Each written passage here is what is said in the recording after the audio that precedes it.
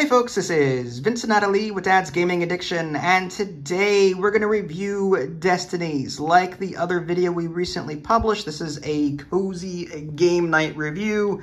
We just spent about an hour or two playing the first mission of the actual campaign. The game comes with a standalone, like, it's its own story kind of thing tutorial mission and then there's like a four mission campaign and this was the first of that. I don't want to spend too long on specifics to as to spoil the story because there's a lot of discovery in this game a lot of like oh what happened. So we're going to avoid spoilers whenever possible. So what are we doing in this game? Well, you choose one of the characters available for that scenario, and then you're going to set up your player board. And there's three different stats. There's like intelligence, dexterity, and power. And these little tan tokens here will be going left and right up and down this track. And whenever you're asked to make a skill check, you're going to roll some dice. You're going to roll some white dice all the time. And if you have any available and you want to use them, you can use some purple dice.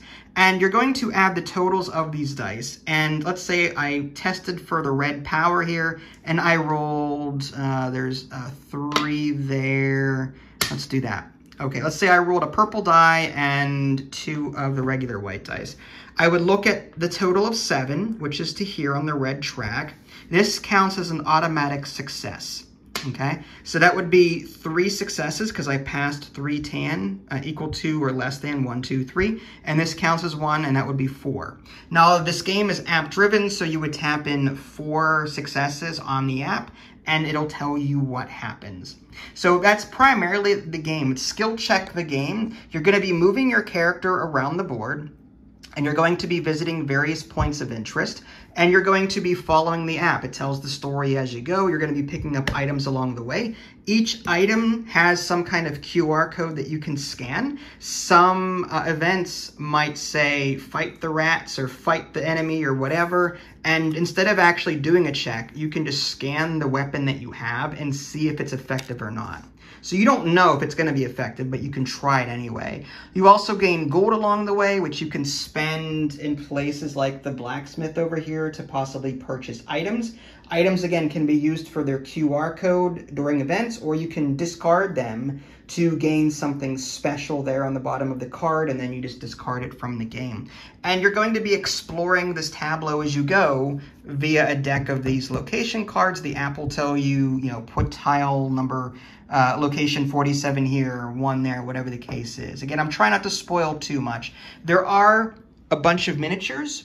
Uh, just, I love this. Uh, there's uh, there's miniatures for the heroes. There's miniatures for like the um, the different enemies that you might be facing. But here's a quick look at the components here. The game supports up to three players.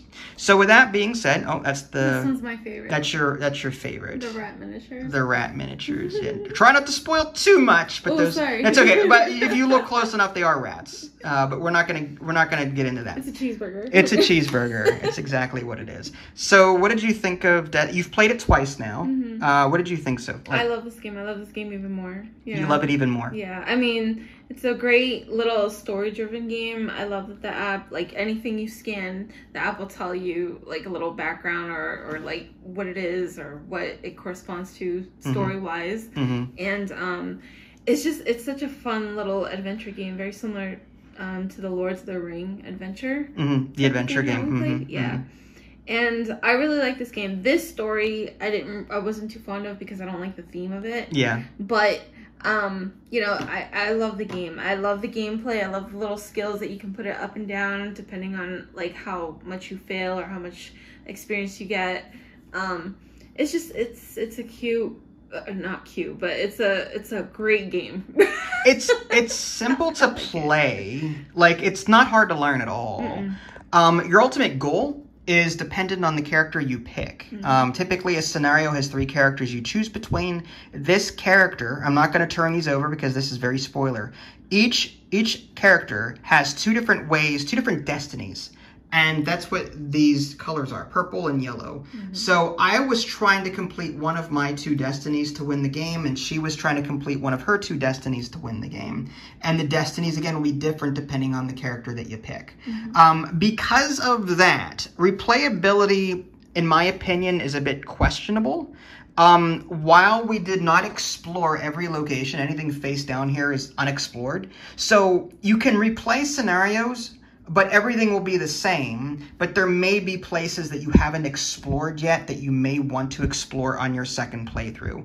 So one of my complaints with this game is nothing is randomly generated. So um, if you fail miserably, like I did with this particular game, like I was just starting to get started and she beat me like that. Like she she came out of the gate swinging. She got her destiny done to trigger the end of the game. I did not complete a single task on either destiny mm-hmm. because my dice rolls were extremely poor. That's that's another complaint I have. Mm-hmm. Yes, you're going to be refreshing a purple die at the beginning of your turn. But typically, you're going to be spending them to increase the odds of getting a lot of successes. Me, with dice, I rolled a lot of one and two success rolls. I, I, I rolled very poorly with my rolls. And as such, every time I went to a, a particular point of interest to do something, the game would be like, no, you failed. Here's an experience token and you spend these experience tokens to move these tan markers further to the left to increase your chances of getting more successes in the future. Mm-hmm. But even then, even though I have this set up, I was doing like I failed a lot and I was getting a lot of pity moves with my with my tokens. I still couldn't get enough experience I couldn't get enough rolls done to do anything I needed to for my thing. So it was it was frustrating. It was fun, but at the same time, it was frustrating for me because I felt like I couldn't even play. I, I'm not saying the game is bad, but I'm saying through bad luck, it is possible to feel useless the entire game. Yeah. Even though I had items, even I didn't get to use these once. I was hoping to find a door to come across to use this lockpick. I was hoping to use the talisman for something. The one event where I was doing battle, it told me the sword isn't useful here, and then it automatically ended my turn. Mm. I'm like, seriously? I couldn't even fight That was rough. Like I'm like I- so so because the game said I can't use my sword here, I couldn't like put the sword away and try brute force and do a check. Mm-hmm. Like it didn't say that. It just said you just automatically end your turn. So like I felt like there was some really bad luck on my end to where I couldn't do anything. And that's that's one of my complaints with the game. If you're going to play this game, play it for the story and for the adventure and accept the fact that the game is going to screw you over in certain ways mm-hmm. and the dice are going to screw you over in certain ways. Um, and enjoy it. Um, That's why I got rid of all my items. Like I was just using them as much as I can because I kind of figured that items, you know, they're not really going to help you at the, in the long run. mhm. So I just used them. The one thing that really helped me out was on my very first turn, I actually got a hint about one of my destinies. Oh, okay. So I was like, okay, I gotta go to this place, you know? Mm. And then from that, I played out, okay, now I gotta do this, now I gotta do that. So I, I kind of had like a set path, hmm you know? But for you, it was hard because you didn't know where to go, you didn't know where I was I, my soldier was clueless the entire game. Yeah. I blundered from points. I just went to various points of interest, hoping that I could possibly stumble upon something for my destinies, but it never happened. Yeah. Um, and I still had more to explore. Like I felt useless. Um, that being said, I still like this game, but what I want to do, there is a solo mode. Mhm. I would replay this scenario by myself so then I can get more closure. time in it. I, I felt like I felt like I just came out of a bad relationship and need closure. yeah. I feel like replaying this game in solo mode will give me that closure. You know is what I there mean? a time limit? There is no there as far as I know. Well, in solo mode, if there's no so, no time limit in solo mode, you can take your time. That's what I mean. know? That's what I'm, that that's what the solo mode is going to do. It would allow you to go around the board, explore everything to your heart's content. Mhm. I feel like I want to do that because there were things I wanted to see. I don't know what this Yeah. is. I want to know what this is. What I, I failed this one point of interest like twice. I want to know what what is there. Yeah. I want to know what's there. Rather than play this scenario again with you and, and end up with the same result, I feel like to get the full story, I feel like I need to replay it solo. Yeah, I actually wouldn't mind playing solo either. I wanna, I wanna know everything. I wanna like click Yeah. on every single thing. Mhm. It's like reading those um choose your own adventure books, but like reading it from left to right, like like just all the pages in order. Well, see, I cheated. I would put my finger on the page where I came from, That's true. read that page, and then come back to it and pick the other thing to see what would happen instead. Yeah, I cheated, but yeah. you know, I was a kid. What did I know? That's fine. I did the same thing. Yeah. So like I, I like don't get me wrong, I like this game. But again, this this also like gets back to the whole replayability thing. yeah. Um now that I know the story and the scenario, I'm less inclined to replay it with other people because like I feel like now A I have a leg up on someone that's never played this scenario before. Mhm. And B like is even still like I feel like part of the game is now spoiled for me. Well- I, I want a fresh story now. Pro- the thing is though is that there's other campaigns, right? There's By the three ti- others. By the time you get around to playing this one, you're gonna probably forget. Plus, there's other Well, games to play. You will not. You have an eidetic memory. No, no. She remembers And- things I did wrong from five years No. ago.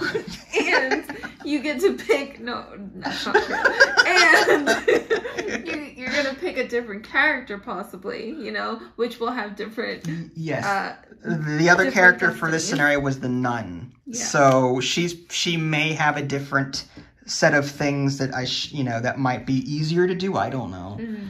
Um, but yeah, like I, I like this game. I still recommend it. My concern is that the core game comes with again that one standalone tutorial scenario and four missions that are one complete story. Mhm. So mission two of this coming up is a is a follow up to this Yeah. in some way, supposedly. like the the standalone mission i have no idea like i don't remember that Mm. i know there was like a You won that one too. Did I? Dice are a lot nicer to you than they are to me.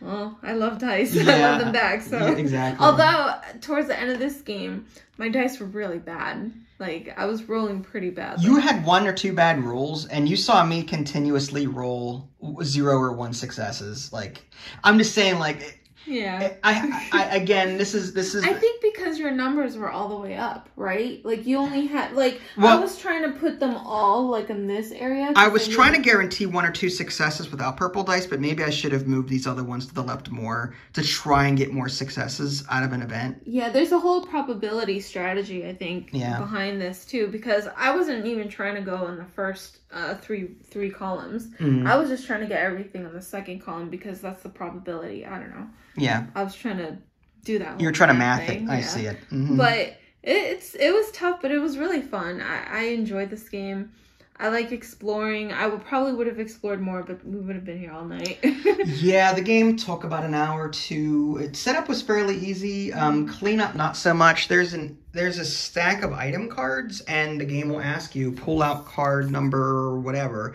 So you have to like, it, well, if you're OCD like me, you're gonna put the six back in where the sixes are, and so on. So there's a bit of cleanup involved there, um, and and putting everything in numeric order. These are all the different territory tiles that you're going to be exploring throughout the game as well.